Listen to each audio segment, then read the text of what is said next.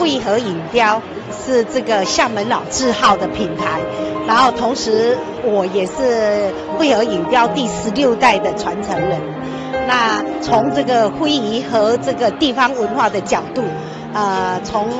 啊文化自信和自觉，那么我们力争把这种闽南文化和我们的影雕来做一个很好的融合。惠安里也是这个闽南文化的一个很鲜明的特色。那么，因为它是女性的这个戏活，所以说，呃，我曾经在金砖接待的时候，那个普京总统就这么形容这个影雕，说，呃，美人克美女。那当然了，他第一是从女性尊重的角度来谈这个工艺上的不容易，呃，特别是女性的这种犀利。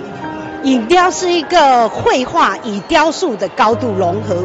它的这种美展示在最淳朴的黑白灰三个颜色的对比，所以给人一种非常生活化的那种生活的美的质感，跟它的沉重和历史底蕴。